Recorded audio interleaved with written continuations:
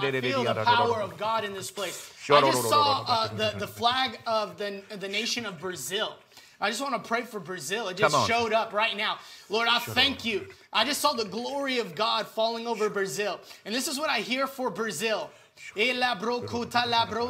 For you are a nation of glory. Signs and wonders are going to be poured out. I just see radical manifestations of the glory of God.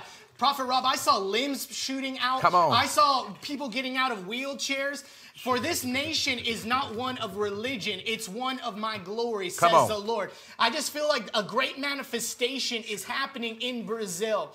Lord, I thank you that no government, that no political party, that no people, no religious system can hold down the glory huh. of God. I thank you for just a move. I just saw a move. And it's not going to just be one man or woman uh, uh, doing huge crusades, but it's going to be a movement of people. I saw huge crowds yeah. doing signs and wonders over Brazil. So if you know someone for Brazil, share this stream right now. Amen. I'll, or, I'll yeah. tell you what. I'll tell you what. Um, mm-hmm I, I, believe that Pele played soccer there, and I believe he was Brazilian. I'm not 100% sure, but I kind of sensed that in my spirit. And I heard the Lord say that, that Brazil is known for two things for great soccer players, but it's also known for their great warriors because of the Brazilian Jiu Jitsu. And I heard the Spirit of the Lord say, I am raising up the athlete in the form of a warrior that's going to come forth and bring forth a mighty victory. I heard the Lord say, He says, There is none who compete like me, for I am the undisputed champion. And He says, and I am the mighty warrior. And I heard the Lord say, I'm going to battle on your behalf, Brazil, and I am going to pull down everything that's trying to exalt itself against the knowledge of who I am. I'm going to begin to touch the young man. And I saw the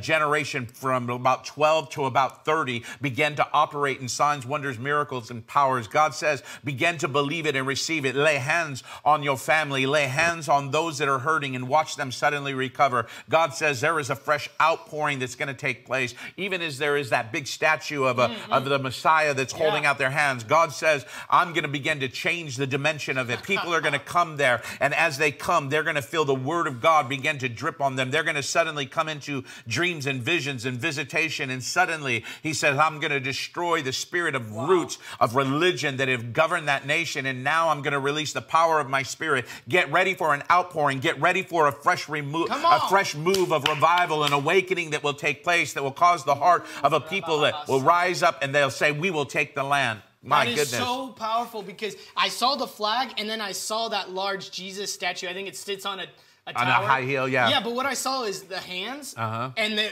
glory of God, like fire coming out Come of it. On. And then you prophesied exactly the prophetic picture. Well, there you go. So there God you go. is doing something in this time and season. I feel like there is just significant just glory being released all over the world. Amen.